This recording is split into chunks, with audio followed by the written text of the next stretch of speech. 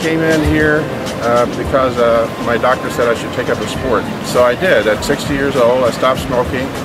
I was 285 pounds, and uh, I started swimming, and I got trimmer and healthier and stronger. And uh, Clay told me I should go into competition, which I did.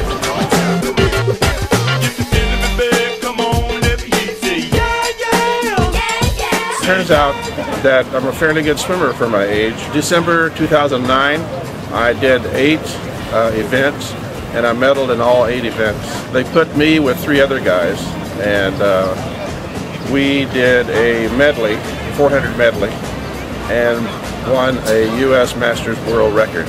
And I'm just beside myself when I think about that.